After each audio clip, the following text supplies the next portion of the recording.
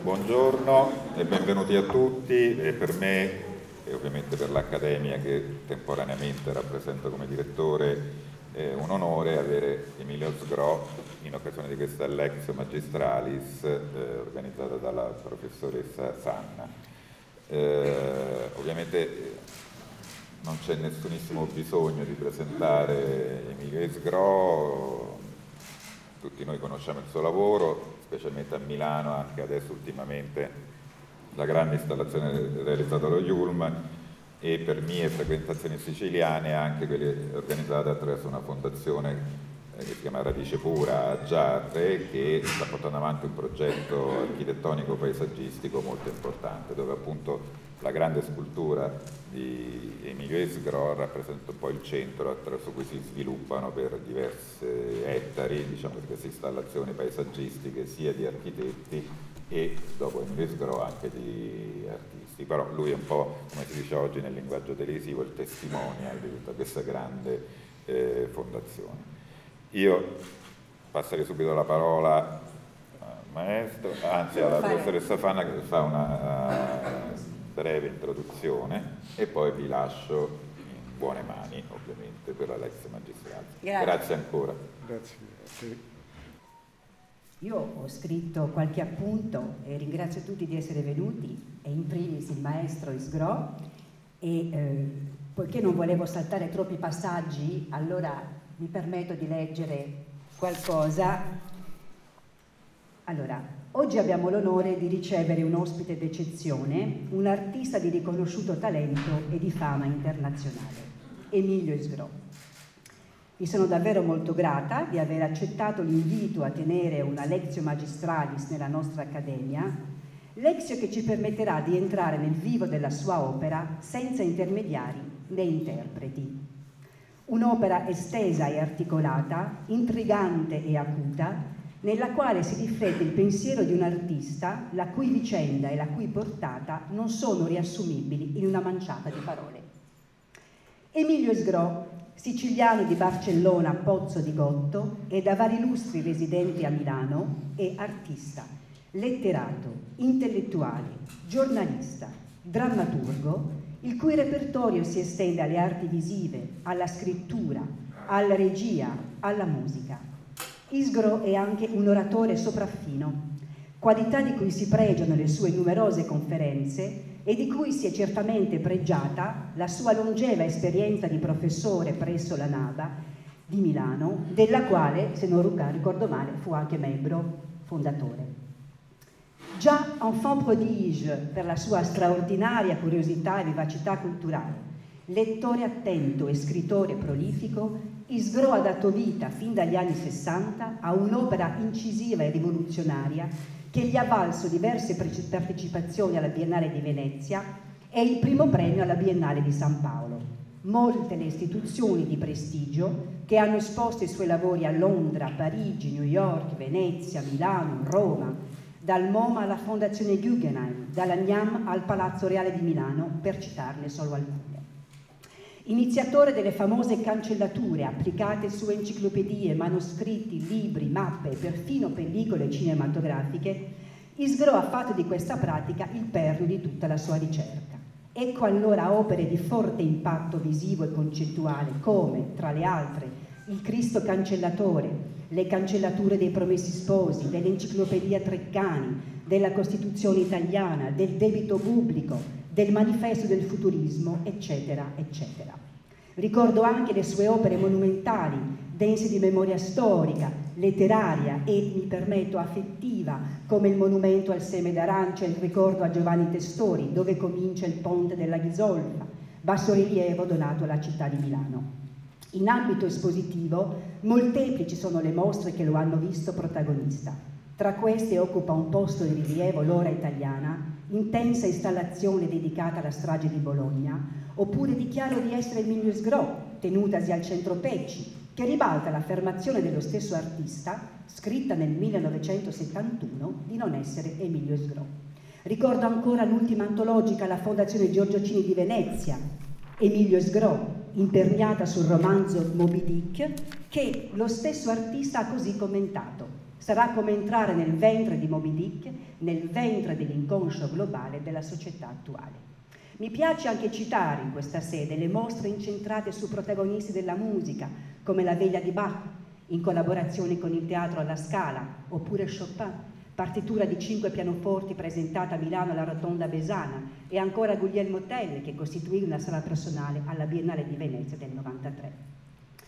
Se, come ebbe a dire Schwarz, non c'è dubbio che il destino di Sgro fu la cancellazione, è altrettanto indubbio che il destino di Sgro è anche la scrittura, intesa come produzione teorica, letteraria, poetica, teatrale giornalistica, produzione nella quale l'artista si misura con la lingua italiana e con i dialetti siciliani, con la realtà e la finzione, con la prosa e la poesia, con l'antico e il contemporaneo.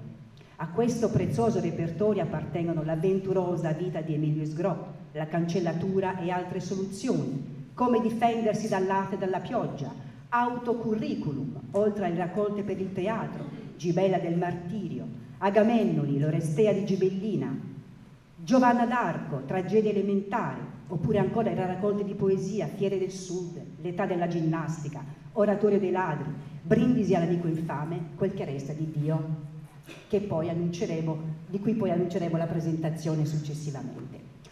Concludo dicendo che artista a tutto tondo, Emilio Sgro è provocatore e irriverente, penetrante e sensibile, profondo e complesso e profondamente intelligente, nonostante, ipse dixit, l'intelligenza non sia una qualità di cui l'artista debba abbondare.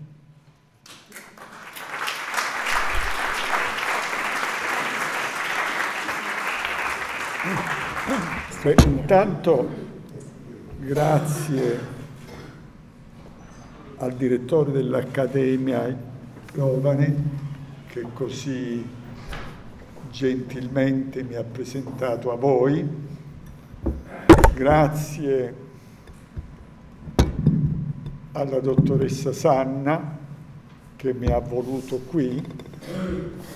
e grazie. Posso aiutarla? Sì, si posso. Ecco e grazie a voi tutti che manifestate un certo interesse per questa lezione magistralis come viene un po' annunciata, cosa che mi spaventa perché io sono riuscito ad accumulare una certa quantità di crediti verso la vita, sostanzialmente facendo cose piccole, ma con una tale passione che diventavano grandi. In questo senso, come artista, credo di poter accampare un dato interessante di fronte a voi, perché secondo me l'artista deve far diventare grandi le cose piccole e non come purtroppo a volte accade, far diventare piccole le cose grandi. Succede anche questo nel nostro mondo. Perché non vorrei fare una vera lexio magistralis? Perché io amo parlare e colloquiare faccia a faccia e quindi mi diverte molto vedere intanto dall'elenco che è stato fatto come un uomo pigro quanto me sia riuscito a produrre tante cose, perché ho dovuto combattere contro la voglia di ozio che mi portavo dentro. Sono pigro. Non si direbbe, quindi da questo punto di vista fate bene ad accogliermi così felicemente, perché sono proprio un fenomeno, un uomo pigro che ha costruito cose che non pensava di essere in grado di fare. Ma perché sono riuscito a costruirle? Perché ho vissuto prima da uomo e successivamente, secondariamente, da artista. Mi piaceva troppo la vita per poter considerare l'arte qualcosa di assolutamente superiore al resto del vivere. Vivere è più difficile che fare gli artisti. E quindi bisogna rispettare, molti di voi un giorno saranno artisti, lavoreranno comunque nel campo della creatività che in questo momento vede Milano, non da oggi evidentemente, in una posizione internazionalmente di punta. E quindi se si vive si dipinge meglio, si scrive meglio, perché vivere significa avere anche passione per le cose che ci circondano, per le persone e in fin di conto anche per se stessi. Certo, non è il caso, io sto facendo una chiacchierata, poi loro possono certo. domandare, non è il caso, sto parlando un po' a ruota libera, di chiedere a tutti gli artisti di essere uguali, anzi è bene che siano diversi, che si vedano le differenze, perché la qualità di differenza dell'arte e l'artisticità consiste proprio, la poesia, nella qualità di differenza rispetto al resto del mondo che ci circonda proprio la qualità di differenza è quella che arriva al pubblico, quando vede cose effettivamente inaspettate. Però le cose inaspettate devono avere, voi intanto guardate le immagini, poi mi, devono avere un fondamento reale, cioè non si fa rumore con le trovate, la trovata può andare bene una volta, due volte, ma poi sulla trovata bisogna costruire un mondo, un universo nel quale ciascuno di noi si possa rispecchiare. Immaginiamo che a un certo punto Lucio Fontana sia andato a sbattere con un suo quadro contro lo stipite di una porta e la tela si sia lacerata. Eh, che bella idea! Faccio i buchi, trovo una strada per me, come spesso fanno gli artisti, hanno bisogno di una cifra. Ma Fontana non fece soltanto questo, perché altrimenti non sarebbe stato l'artista che è stato. Lui su un incidente di percorso, probabilmente veramente vide una tela sfondata, può succedere, costruì un sistema compositivo di ferro, dove si passa da certi tagli perfetti e puliti, bianco su bianco, che un po' arieggiano ciò che accadeva alla Galleria Il Milione negli anni 30, una certa aria astratta, ma poi trascorrono, ed ecco che il mondo si apre, in baroccheggiamenti, pensate quando lui altera i buchi, soprattutto i buchi o gli squarci, portando il discorso della sua opera a quella misura barocca che aveva probabilmente imparato a conoscere assieme alla Hispanidad nell'Argentina dove era andato a vivere con, i, con suo padre, mi pare, no? Quindi la bellezza di Fontana e di un artista non è quello di essere esteriormente coerente, è quello di esserlo interamente, internamente.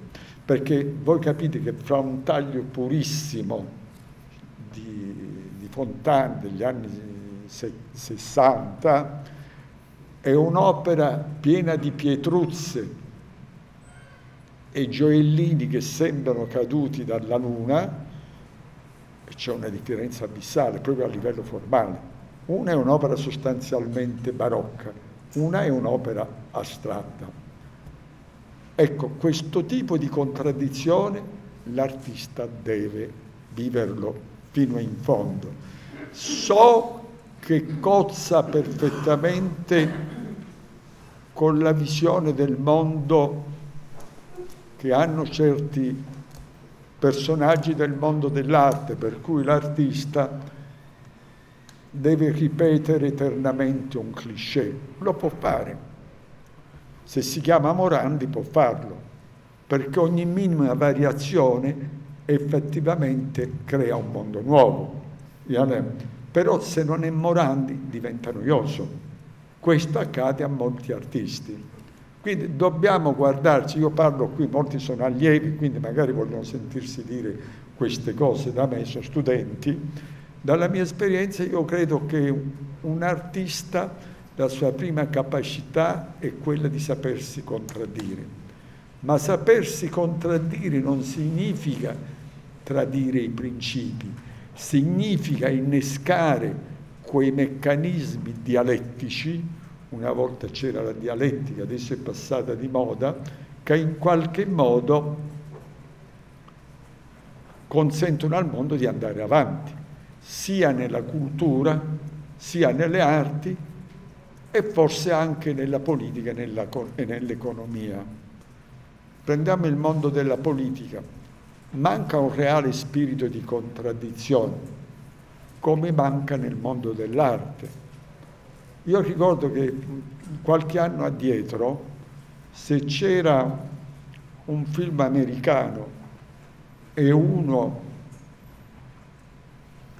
lo vedeva e non gli piaceva e lo diceva in giro, passava subito per un nemico degli americani. Quindi non si poteva dire neppure male di un brutto quadro se veniva dagli Stati Uniti. Ora è chiaro che grazie a Trump si dice male anche troppo dell'America, si è passato da un segno all'altro. Questo per dire che tutti in un certo momento della nostra storia possiamo sbagliare. Noi abbiamo avuto per esempio il fascismo ed è stato un errore bestiale che non ci onora e speriamo che non si torni, perché fascismo significa mancanza di rispetto per gli altri, per le opinioni altrui e per loro per il loro esistere. Questa, diciamo, è la premessa generale. Adesso immagino, vedendo le mie opere alle mie spalle, che voi vogliate che io parli un pochino del mio lavoro. Magari poi risponderò a qualche vostra domanda specifica se me la farete, ma comincio molto blandamente facendo una cronistoria della mia vita d'artista. In effetti, io non ho cominciato come artista visivo, né tantomeno come pittore. Sono cresciuto in una famiglia dove si faceva chiaramente della musica, della pittura, del teatro e anche della letteratura. Quindi in un certo senso sono un figlio d'arte. Sono, sta- sono stato alle- allevato fin da bambino a pensare e a ragionare in un certo modo. Pubblicai le mie prime poesie proprio qui a Milano, appena arrivato nel 1956, da Arturo Scivarz, che poi diventò il mio mercante, oltre che essere stato il mio editore e, a un certo punto, allora per un artista avere delle idee non era un demerito. Un'idea anche non gradevole, non gradevole a vedersi, se era un'idea interessante veniva accettata se creava una discussione. Parlo degli anni 60 del Novecento, 50 e 60 del Novecento. Polemizzare tra artisti non era un rompere le scatole, era un merito. Non essere d'accordo non era un attentato alla patria, era un merito democratico. Bisognava dissentire per, crea- per creare proprio livelli più alti di conoscenza e di crescita. In questo senso quando io sono arrivato a Milano, Milano era proprio una culla, si discuteva molto, era, la guerra era finita de, da, poco, da circa dieci anni, undici anni, Milano era in ricostruzione febbrile ed effettivamente allora il punto di riferimento era Parigi e si cresceva tutti insieme anche economicamente, oltre che culturalmente. Se un artista era anche intelligente, non guastava. Tuttavia devo dire anche, spero di non essere considerato stupido, ma se fossi solo intelligente troverei dannosa la cosa. Io ho anche una buona dose di innocenza nell'occhio e nella bocca che mi consente di usare le immagini e le parole come se le vedessi o le sentissi per la prima volta. Vi dirò di più. Io capisco che una mia opera è riuscita o meno quando spaventa me per primo, quando non mi persuade. Il mio primo tentativo non è quello di distruggerla. Non sono un artista romanticamente votato al mito dell'autodistruzione, anche se qualche volta ho dichiarato di non essere Emilio Sono uno che vive la vita con fiducia assoluta, con eh, la speranza che le, che le cose possano essere mutate sempre in meglio. Insomma, per dirla più banalmente, preferisco vedere la bottiglia mezza vuota, mezza piena, anziché che mezza vuota. Anzi, ho un difetto, che se appena c'è mezzo centimetro d'acqua, io credo che sia strascolma e trabocca, in questo esagero, ma questa è una questione di temperamento. Allora dicevo, cominciai scrivendo poesie. Le mie prime poesie furono recensite da Pasolini e recensite bene, con molto favore. Avrei potuto accontentarmi se non che io sono un tipo che non si accontenta. Mi accontento soltanto quando vedo, dopo il, passato del tempo, che il discorso funziona da solo. Allora ho la riprova che ho agito bene. È uscito questo libro, accolto bene, se non che nella temperia avanguardistico, neo-avanguardistica di quegli anni, io io pur senza aderire ai movimenti allora di moda, come il gruppo 63 per esempio, ha avuto una lieve latenza con il gruppo 70, ma durata poco tempo, anche perché in fondo non credo alle corporazioni degli artisti, credo alle amicizie tra artisti, ma non alle corporazioni di... L'arte è un'attività sanamente anarchica dove bisogna lottare. Quindi è anche bene che il mercato a un artista almeno parzialmente gli sbatta la porta in faccia ma gli apra qualche finestra, questo sì, se no lo porta alla disperazione. Se coccoli gli artisti in fascia, in fasce, non gli dai il modo e il tempo di crescere. L'artista deve anche soffrire un po', non troppo, ma un pochino è giusto perché può fare meglio degli altri, purché la sua guerra non sia unicamente portata al proprio tornaconto personale, perché il tornaconto non è di tipo economico, è anche di tipo etico, la voglia di affermare certe idee, certe cose. Io non credo che Einstein, per parlare di uno scienziato che non è un artista, ma anche la scienza somiglia per certi aspetti all'arte, abbia fatto la relatività per diventare ricco, non ci pensava nemmeno. Quindi questo succede. Allora diciamo che io dopo le prime poesie mi posi una domanda che allora cominciava a profilarsi nell'aria. E perché me la posi? Intanto vivevo a Venezia e vidi irrompere sulla scena veneziana in genere dell'arte internazionale, la pop art. Personalmente la trovai una cosa molto interessante. Vedi, vedi a Venezia, li avevo visti già qualche anno prima negli Stati Uniti, avevo intravisto ancora, avevo visto gli Stati Uniti soprattutto perché allora facevo il giornalista ed ero stato mandato dal mio giornale a fare un viaggio al seguito di John Fitzgerald Kennedy. Potei fargli qualche domanda alla Casa Bianca dove fu invitato quindi tutte queste cose, poi rividi uno o due anni dopo la pop art in piena espansione a Venezia.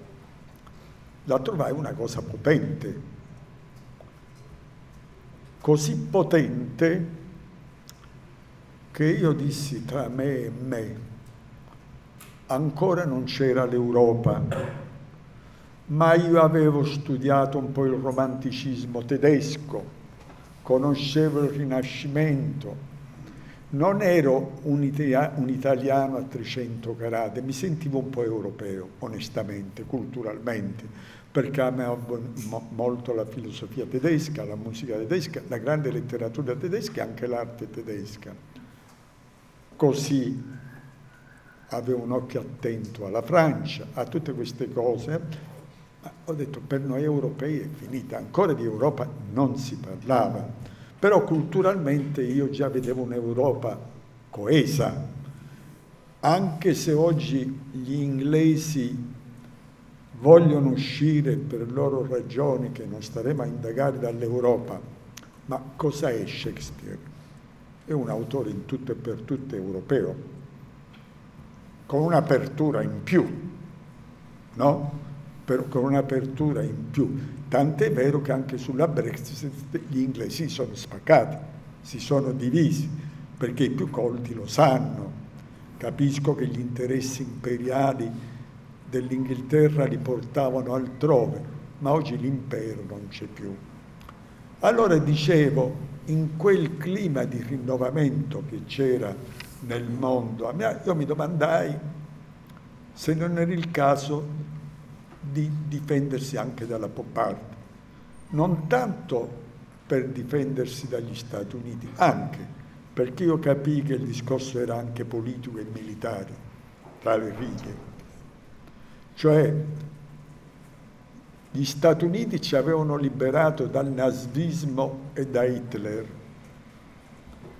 però bisognava a quel punto liberarsi anche dai liberatori, senza fare del facile anti-americanismo, ma costruendo, ricostruendo un'Europa dei linguaggi artistici e di comunicazione che in qualche modo noi potessimo scambiare con la grande cultura americana che intanto avanzava sulla scena internazionale.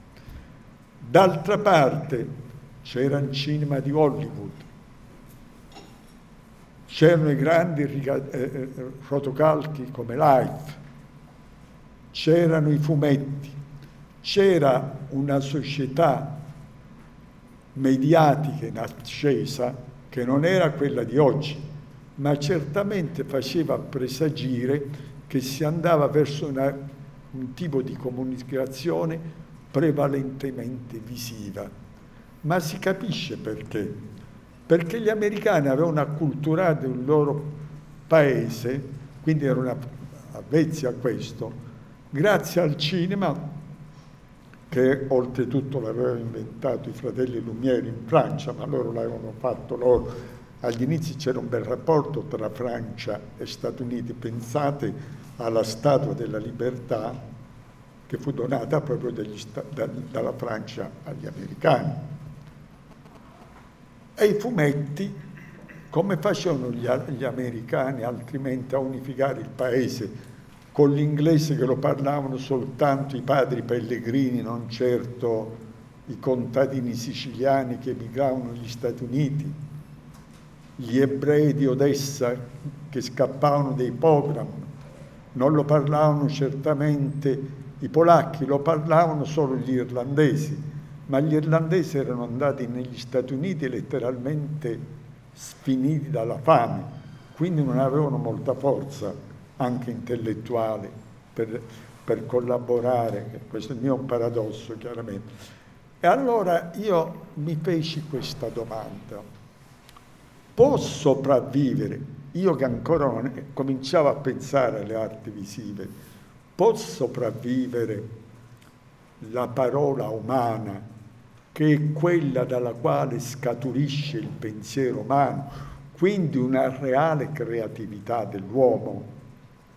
Tant'è vero che Foscolo, per esempio, diceva, non dico con disprezzo, ma un po' con la puzza sotto il naso, che Dante crea mentre Michelangelo copia, perché Dante scrive e mio... Ora questo io credo che la forza di Michelangelo anche sul piano intellettuale, creativo sia identica, non, è, no, non ci sono graduatorie in queste cose, ma questo Foscolo lo scriveva nell'Ottocento. Allora mi sono domandato, può la, può la parola resistere all'urto mediatico di una società eminentemente visiva? Questa fu la prima domanda. Per questo io feci una serie di operazioni, come per esempio le scritture verbo-visive, da alcuni chiamate poesie visive, da altri poesie visuali, variamente denominate, che avevano la funzione di veicolare una parola rinnovata dal suo rapporto con l'immagine. Pensate a un'opera come la Volkswagen, non so se la mia assistente l'ha messa qui. No, non c'è. Non c'è, ma probabilmente molti di loro l'hanno vista nei libri di scuola. E allora ho detto, può sopravvivere la parola umana, ma se non sopravvive la parola umana, può sopravvivere la libertà degli uomini? Ora, la domanda oggi ce la poniamo con una maggiore impellenza e drammaticità perché se voi vedete certe dichiarazioni fatte alla televisione nell'era di internet o certi messaggi mandati dai presidenti degli Stati Uniti, vedete che la parola è asciutta come un osso, apparentemente diretta, in effetti semplificatrice. Eh, la riflessione non si crea semplificando le cose, semplificarle per comunicare agli altri va bene, anche filosofi greci. Socrate noi lo ricordiamo per aver detto so di non sapere, ci ricordiamo quello e poi si aggrega il resto. Quindi può sopravvivere anche relativamente un'arte fatta di sole parole? Contemporaneamente, vedete qui la Jacqueline, ci arriviamo, guardatela bene, Jacqueline indicata dalla freccia si china sul marito morente. Allora io cominciai a dichiarare che la parola era morta, devo dire creando un certo sconcerto, perché questo detto da un poeta, sia pure giovane, persi l'amicizia di Eugenio Montale che era un mio estimatore e di tanti altri per la verità. Ma allora non ci si appoggiava al più forte, la solidarietà tra giovani non cercava protezioni e questo era un grande coraggio. Noi non cercavamo padrini, non ne avevamo bisogno. Recentemente un amico critico, un grande critico, mi ha detto ma tu non ti sei occupato mai del mercato, vedi Emilio? Dico no, pensavo di non averne bisogno e, e, e questa non era neppure una presunzione. Per mia fortuna ho, conosciuto, ho conosciuto tardi i meccanismi della propagazione e della divulgazione dell'arte. Quindi, avendo potuto sempre vivere di poco ed essendomi sostentato da solo, non avevo debiti con nessuno, per cui quando sono arrivati i grandi appuntamenti della vita ero pronto ad affrontarli e a reggerli. Mi ero fatto la scorza, quindi non, non reagivo neppure alle cose che a volte non vere si dicevano su di me, non le accoglievo neppure, non non le ascoltavo però ascoltavo molto volentieri le critiche giuste, quelle le consideravo costruttive. Allora ho cominciato anche a cancellare, non certo le parole in un primo tempo, non certo per distruggere la parola in un'ottica dadaista o nichilista, ma semplicemente per portare a un livello assolutamente sterilizzato la comunicazione verbale. Allora si parlava di grado zero della scrittura, Roland Barthes. Forse io non entravo completamente in questa casistica perché in effetti io non ho mai distrutto la parola, la parola è anzi alla base di tutto il mio lavoro. E il paradosso qual è? Che se devo mostrare un minimo di soddisfazione, devo dire che strada da allora se n'è fatta, perché quando le persone vedevano le mie opere con tante parole cancellate, e poi la cancellatura in fondo diventava un fatto pittografico, visuale, quindi facevo regredire la parola alle sue origini, quando l'uomo comunicava stampando la propria mano sulla caverna. Devo dire che tutto questo fu accolto con molto interesse dalle avanguardie, Guido Lenoci della Grilleria Pollinelli, Scivari, qualche altro si qualcuno si scandalizzò, però devo dire che non posso dire che mi sono state sbattute le porte in faccia. Allora se uno veniva dissentito, eh, beh, beh, beh, dissentiva, veniva cercato proprio per il suo dissenso dai mercanti. Mentre oggi chi prenderebbe un giovane artista che dice che so, non mi piace Hirst, non mi piace Kunz, si entra subito in allarme sembra un attentato alle grandi istituzioni nel, del mondo. Contemporaneamente mi sono accorto che grazie alla pop art, che aveva fatto il pieno delle immagini, cominciava a deperire anche la possibilità di vedere realmente le cose. Pensate alla Jacqueline di Andy Warhol, è un'opera canonica. Come si poteva reagire a tutto ciò che ci facevano vedere per forza, un, un po' come si, quando, quando si mettono le oche all'ingrasso per produrre del buon patè. Si poteva, vedere, eh, eh, si poteva rovesciare il discorso, io questo pensai, svuotando la comunicazione potente, prepotente dall'interno, in modo che fosse la mente umana a riscostruire l'immagine. Vedo quello che voglio vedere, non ciò che vuoi tu. Questo era più o meno il mio discorso. Per esempio guardate certi particolari ingranditi, Sofia Loren particolare ingrandito tante volte. Chi può dire che è vero o non è vero? Chi mi può smentire? Chi conosce il particolare? Chi la scala? Ingrandito diecimila volte rispetto a quale particolare? Voi capite che a quel punto era impossibile dichiarare se una cosa era falsa o vera. Mi pareva che la grande civiltà europea fosse più incline a questo tipo di discorso che quella rispetto ad altre civiltà a loro modo evolute e importanti dalle quali avevamo certo da imparare, ma non ciecamente, non supinamente, perché se uno non mette in discussione gli altri, non può mettere neppure in discussione se stesso, che è l'essenza dell'arte e della crescita culturale. Cosa mi restava da fare a quel punto? C'era un rischio che a forza di dire in giro che la parola era morta,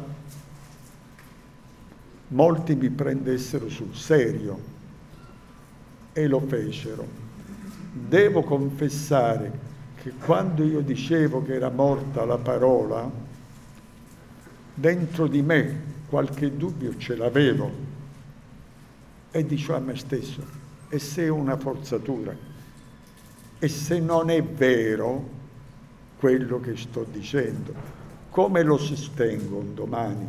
Perché l'artista in quell'epoca era un po' portato alla riflessione, se non critica, autocritica. Quindi voleva capire dove stava andando il suo discorso, dove stesse andando. E se non è vero, se non che finché più ero prudente, più gli altri mi credevano forse perché dicevo le cose in maniera problematica, facendole ma non imponendole in maniera categorica, a volte anche ridendoci e scherzandoci su. Io ricordo che era la stessa cosa che faceva Fontana quando gli parlavano dei suoi buchi. Lui era un uomo molto colto e intelligente, con una formazione cosmopolita che in qualche intervista si sente il suo tono, non era il Brianzolo che parlava con l'accento del sindaco di, di Comabbio, che poi magari parlerà benissimo, poi non lo conosco, parlava proprio con un italiano pulito e non, se parlava in meneghino lo faceva per un vezzo, non certo perché non sapesse parlare, era un uomo colto e dava sempre risposte appropriate in linea con l'epoca. Quindi in qualche modo l'attitudine autocritica mi portò a considerare ciò che avevo fatto e se poi non è vero, dovevo dimostrare in qualche modo a me stesso che il discorso che avevo affrontato era possibile. E come lo fece? All'inizio le mie cancellature erano cancellature nude e crude, che però avevano una strana pittoricità. Io non me ne accorgevo chiaramente, perché il mio scopo era apparentemente un altro, era dire che non si poteva andare avanti, c'era una vena chiaramente polemica, anche se non sempre esplicitata, però a un certo punto cambiavo il testo, dichiaro di non essere Louis Gros, e mi accorgevo che il dichiaro di non essere Milisgro in fondo apparteneva a una grande tradizione culturale dell'Occidente, che è quella omerica. L'Isgro che dichiara di non essere è Ulisse, inconsciamente Ulisse, che dichiara di non essere, di chiamarsi nessuno per sfuggire alle grinfie di Polifemo